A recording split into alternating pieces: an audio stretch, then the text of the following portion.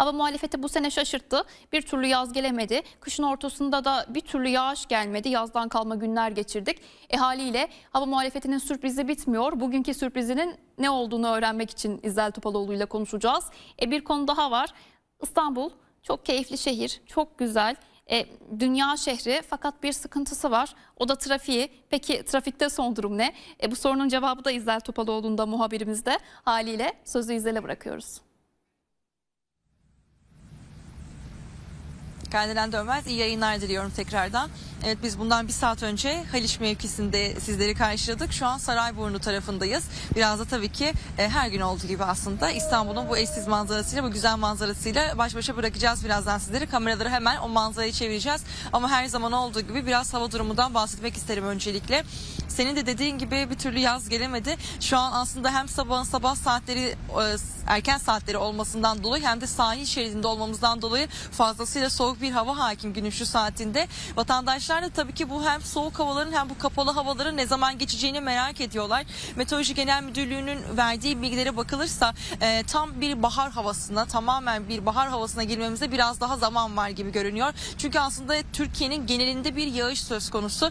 Batıda her ne kadar güneş açsa da soğuk havalar devam ediyor ama bir de yurdun doğu kesimi var ki o her zaman bildiğimiz gibi o tarafta yağışlar, yağışlı hava söz konusu. Ama genel bir ortalamaya baktığımız zaman Türkiye'nin genel sıcaklık ortalamasına baktığımız zaman bu ortalamanın %20 civarında olduğunu söylemek mümkün. Aslında yavaş yavaş bahar kendini hissettiriyor ama tam anlamıyla gelmiş değil. İstanbul'a baktığımız zaman bugün İstanbul'da en yüksek sıcaklık 20 dereceye kadar çıkacak. Sabah saatleri olmasından dolayı dediğim gibi biraz soğuk ama bu önümüzdeki saatlerde sıcaklık biraz daha kendini hissettirecek. Hava bulutlu ancak güneşli olacak. İzmir'de de durum aynı şekilde. Hava bulutlu ancak fazlasıyla oldukça güneşli bir hava geçecek İzmirler. Çünkü hava sıcaklığı 26 dereceye kadar çıkacak bugün. Ankara'da ise bir diğer büyük şehrimiz Ankara'da ise durum e, en düşük sıcaklık 7 derece olurken en yüksek sıcaklık 20 dereceye kadar çıkacak. Bugün Ankaralılar da kapalı ancak güneşli bir havaya uyanacak. Ama dediğim gibi yurdun bir de doğu tarafı var ki e, yurdun doğu tarafıyla batı tarafında deyim yerinde ise iki ayrı iklim yaşanacak bugün. Zaten yurt e, hafta boyunca özür diliyorum hafta boyunca zaten e, yurdun doğu tarafında özellikle yağışlı havalar söz konusuydu. Yine bugün de aynı şekilde durum geçerli olacak. Ama dediğimiz gibi genel ortalamaya baktığımız zaman ülkenin sıcaklık ortalaması 20 derece olduğunu söyleyebiliriz. Hemen kameralarımızı bir de Erolat'tan rica edeceğim e, Sarayburnu sahiline çevirsin. Aslında belki de Havanın şu an biraz daha soğuk olmasından dolayı çok balıkçılar yok. Çünkü ben e, bundan bir önceki yayınımda da e, Sarayburnu'na geldiğimiz zaman balıkçılar biraz daha fazlaydı. Ama tabii ki e, kıyı balıkçıları var. Hemen onları da bir kameralarımızı çevirmek istiyorum. Hemen sol tarafımızda kıyı balıkçılar var. Biliyorsunuz ki 15 Nisan 1 Eylül'de su ürünleri avcılığı yasağı başlamıştı ve balıkçılar tabii ki teknelerini karaya çekmişti.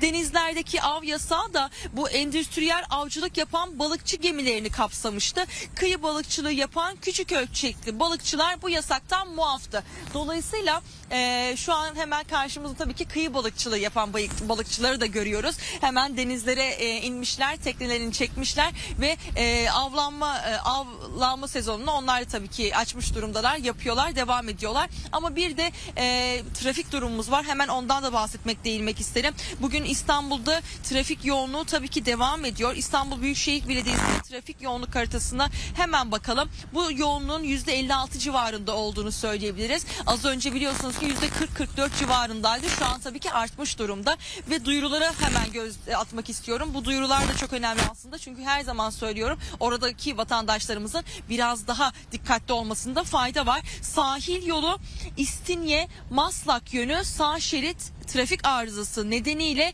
e, kapa kapatılmış durumda. Bir şerit Maslak ve İstinye yönünde trafiğe kapatıldı. Bölgedeki trafik o yüzden biraz daha o tarafta yoğunlaşıyor. Onun dışında D100 Pendik Kaynarca yönü sağ şerit bakım onarım çalışması nedeniyle yine trafiğe kapanmış durumda. O tarafta da bu sebepten dolayı bölgede trafik yoğunluğu yaşanıyor. Ama genel olarak e, İstanbul Büyükşehir Belediyesi trafik yoğunluk haritasına baktığımız zaman bu trafiğin %56 civarında olduğunu söyleyebiliriz. Ama tabii ki e, bu trafikten kaçmak isteyen vatandaşlarımız vapur seferlerini de tercih ediyorlar. Şu an e, biz sizi yayında bek, yayına, yayına girmeyi beklerken birçok vapur seferi de gördük. Hem Eminönü'nden Kadıköy'e giden hem de Kadıköy'den Eminönü'ne geçen birçok vapur vardı, seferler vardı ve tabii ki bu seferleri dolduran vatandaşlarımız vardı. Dolayısıyla onlar da İstanbul'a günün bu saatinde trafik yoğunluğuna karışmamak için vapur seferini tercih eden vatandaşlarımızdan e, bazılarıydı.